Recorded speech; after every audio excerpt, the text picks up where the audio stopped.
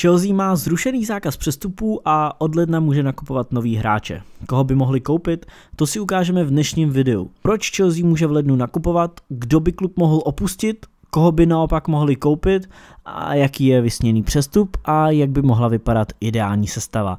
Já jsem Práža a vítám vás u nového videa na Fotbal Netradičně TV. Jo a pokud chcete podpořit naše fotbalové videa, tak si můžete koupit náš merch. Fotbalový samozřejmě máte ho v popisku, zase něco originálního, tak nám dejte vědět, jak se vám líbí. Co se týče zákazu přestupů pro Chelsea, tak v létě tenhle zákaz opravdu trval a nesměli nikoho koupit. Přesněji pravidlo znělo tak, že nesměli registrovat žádného nového hráče. Proto tedy mohli nakonec koupit Kovačiče z Realu Madrid, který v Chelsea ale hostoval už v minulý sezóně, takže v době, kdy ho podepsali na trvalý přestup, byl už registrován jako hráč Chelsea díky předchozímu hostování, čímž dokázali obejít pravidlo o zákazu nakupování, ale s jinými hráči už to nešlo a zbytek léta teda nikoho koupit nemohli. Jenže nedávno podali odvolání, které úspěšně prošlo a přestože měl zákaz trvat také v zimním přestupovém období, tak díky odvolání byl zrušen a v lednu Chelsea může znovu nakupovat. Prvně než se dostaneme k nákupům, tak bych se chtěl zaměřit na hráče, kteří by z klubu naopak měli odejít. Určitě počítám s odchodem dvojce Pedro Giroud, oběma v létě končí smlouva a o jejím prodloužení nemůže být ani řeč. Pedro letos nastoupil čtyřikrát, Giroud pětkrát, ale oběma svítí nula jak v kolonce vstřelených branek, tak i asistencí a Lampard s nima evidentně vůbec nepočítá. Zároveň mají svůj věk, Pedrově 32, Giroudovi 33, takže vzhledem k tomu, jaký Lampard staví tým, tak neočekávám, že by tyhle hráče měl nějaký zájem udržet. Už v létě to jasně ukázal prodejem Luise do Arsenalu. Každopádně jak u Pedra, tak u Žiruda očekávám odchod teďka v zimě, aby na nich klub ještě aspoň něco málo vydělal a zároveň i pro samotný hráče to bude vysvobození. Další úkol očekávám odchod je Marcos Alonso, pokud nepůjde v zimě, tak v létě jsem o jeho odchodu naprosto přesvědčený. Typově vůbec nesedí do stylu, který chce Lampard praktikovat a viděl bych to spíš na jeho návrat do série A.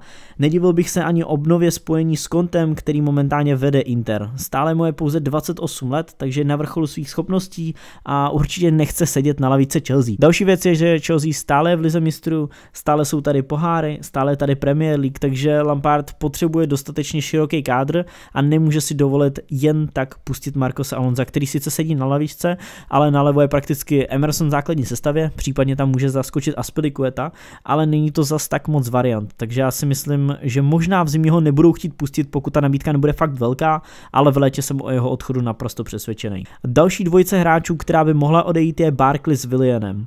Co se týče Barkleyho, tak u něj dlouhodobě věřím, že je to prostě průměrák, ničím nezajímavý fotbalista a říkal jsem to už i v úvodu sezóny, kdy se mu dařilo a dělal se z něho druhý nebo nový Lampard. Každopádně vzhledem na náročnost sezóny bych si ho ještě do konce sezóny nechal na rozšíření kádru, protože na zdravotní stav Loftu se zkrátka není spolech a momentálně je ještě pořád dlouhodobě zraněný. Co se týče Williana, tak jeho pozice je určitě mnohem lepší, ale přestože šel v letošní sezóně výkonnostně nahoru, tak zkrátka není produktivní a to je jeho největší problém.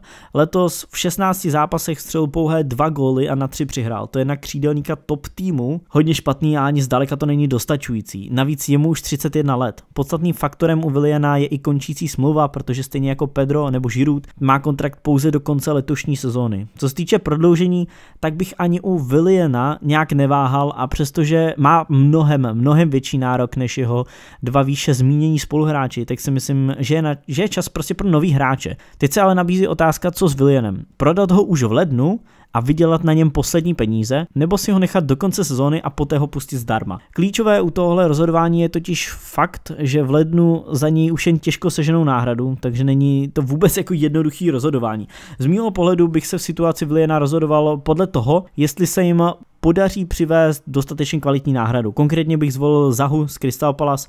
Letos sice zažívá nejhorší sezónu za hodně dlouhou dobu, dokonce má horší statistiky než Willian, dva goly a dvě asistence v letošní sezóně.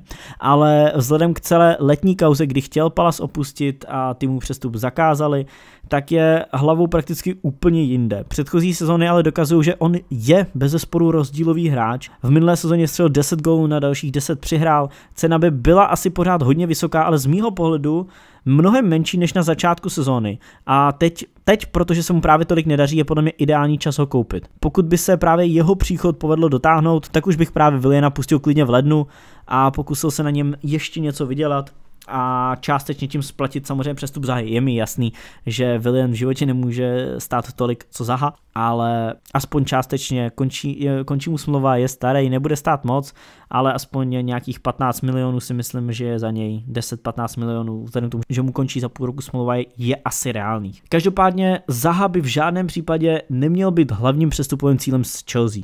Jo, tím musí být jednoznačně stoper. Není to o tom, že by Zaha byl špatný fotbalista, ale prostě Chelsea nutně potřebuje stopera. Je potřeba začít od základu a to, co Chelsea nejvíce trápí, je defenzíva.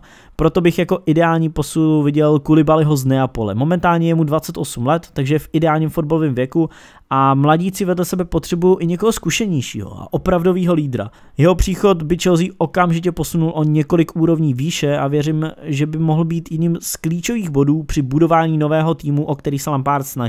Cena by byla obrovská, klidně by se mohla pohybovat až okolo 100 milionů euro nebo minimálně co se týče ceny, tak by byla hodně podobná jako u Van Dijka, ale vzhledem k jeho kvalitám a jak moc ho Chelsea potřebuje, tak bych se nebál ani částku pohybující se v, tý, v téhle výši za něj dát. Druhá otázka je, zda bude k dispozici v lednu. Z pravidla v lednu nejsou k dispozici velký hráči, takže je otázka, zda se Chelsea povede představitele Neapole přesvědčit. Jo. Posla by to byla ohroma, ale v lednu tomu příliš mnoho šancí nedávám, ale určitě bych to z pohledu Chelsea 100% zkusil. Šel bych do toho klidně i za za o něco vyšší cenu, že bych si za ní připlatil, aby mohl přijít už teďka v lednu. Každopádně, komu dávám mnohem větší šance, tak je Tarkovsky z Barnley. Dlouhodobě hráč, kterého extrémně chválím a sice si nejsem jistý, jak dokáže obstát ve velkém klubu, co se týče rozehrávky a rychlosti, ale momentálně v Barnley předvádí fantastický výkony. Navíc by byl jednak cenově mnohem dostupnější, ale zároveň bych si dokázal představit, že tenhle přestup se může domluvit už v lednu. Teď je otázka, co bude priorita pro Chelsea. Zda si případně počkají do léta, na Kulibaliho, ale zase je tady otázka, jestli vůbec toho Kulibaliho pustí v tom létě. Ale já Tarkovského vidím jako velice zajímavou alternativu do středu obrany. Co se týče dalších posil, tak v lednu už určitě žádnou další aktivitu neočekávám. Hlavním cílem by měl být právě stoper, sekundárním křídelník jako náhrada za Viliena a v neposlední řadě prodej nepotřebných hráčů. A co se týče Tarkovského, tak klidně by za mě mohl být i ten stoper číslo jedna, ale je to zase hraje v Barney, není oskoušený velkým fotbalem a je to otázka, nejsem si o tom, nebo nejsem o tom 100% přesvědčený, ale i když jeho výkony se mi hodně líbí. A teďka je to otázka, kdyby v lednu přišel Kulibali, tak neostřelí se zbytečně Rudiger, plus je v týmu Christensen, je tam Zouma, je tam Tomori, je tam několik hráčů, ale jde mi primárně asi u toho Rudigra, jestli by nebyl potom Tarkovský navíc, pokud by přišel ještě Kulibali. Jo? A to jsou zase otázky, o kterých, nebo přestupy a myšlení, o kterých je potřeba nějakým způsobem diskutovat, pořádně to promyslet a z mýho pohledu by měl asi přijít jenom jeden, buď Tarkovský nebo Kulibali. Myslím si, že v momentě, kdy přijde Kulibali, tak se ta obrana posune tolik nahoru, že už nebude potřeba další stoper a bude moc být základu Rudiger plus na lavičce Christensen s Tomorem. Zouma si myslím, že by měl pravděpodobně odejít, ale to je zase jenom můj osobní názor. No, uvidíme, jak to nakonec dopadne a koho seženou ať už v létě nebo v lednu, ale tohle jsou moje varianty. Teď trochu odběhnu od přestupů a podíváme se na ideální sestavu. Na pravém kraji by se mi hodně líbil Reese James, který už je v Chelsea, je to odchovanec klubu, a osobně očekávám, že to nebude trvat dlouho a začne dostávat příležitosti před Aspim. Na beka má mnohem lepší předpoklady a minimálně z ofenzivního pohledu může být do budoucna úplně jinde než Aspy. Na druhou stranu Aspy je lídr, po defenzivní stránce jeden z nejlepších obránců na světě, takže vzhledem k tomu, že má Chelsea defenzivní problémy, to momentálně možná není úplně dobrý nápad, ale v momentě, kdyby přišel Kulibali, tak si dokážu představit, že by Reece James mohl okamžitě do základní sestavy a celkově by to pozvedlo Chelsea na, zase na vyšší úroveň. Takže asi tak. Uprostřed obrany bych si představoval nově příchozího Kulibaliho spolu s ním Rudigra, no a na krajích, jak už jsem říkal, vpravo Reese Jamese a vlevo Emersona, ale s tím, že by na levém beku mohl zaskočit i Aspy, aby naopak dodal trochu defenzivnější stability, případně by záleželo od soupeře, jaký typ beka by chtěl Lampard v konkrétním zápase využít. Uprostřed hřiště dvojce Kante Jorginho, před nimi Mount a na křídlech William s Pulišičem. No a v útoku poté samozřejmě Tammy Abraham.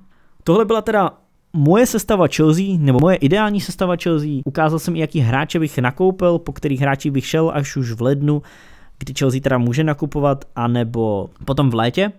A dejte mi vidět do komentářů, jestli byste chtěli podcast o Chelsea, protože přece jenom zrušili jim přestupy, takže si říkám, že je to dost velký téma a mohli bychom pozvat uh, nějakého fanouška nebo někoho z webu Chelsea, s kým bychom v podcastu rozebrali jednak celkově Chelsea, ale zároveň i ten zákaz přestupů, jaký vliv to mělo na klub a nejenom jaký hráče koupí, ale jaký vliv mělo to, že vlastně v létě už teďka nemohli nakupovat.